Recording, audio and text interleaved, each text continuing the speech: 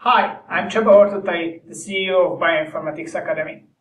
I'm a bioinformatician with a strong background in evolutionary and molecular biology. I do research in the systems biology of human immunity for over a decade.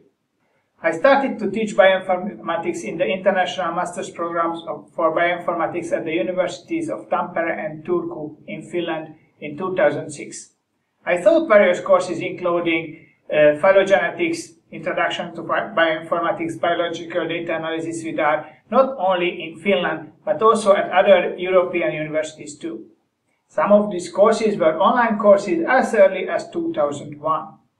In 2013, we established Bioinformatics Academy with my colleagues in Finland to utilize our expertise in bioinformatics and online teaching and to share our expertise in various aspects of answering biological research questions using computers as tools.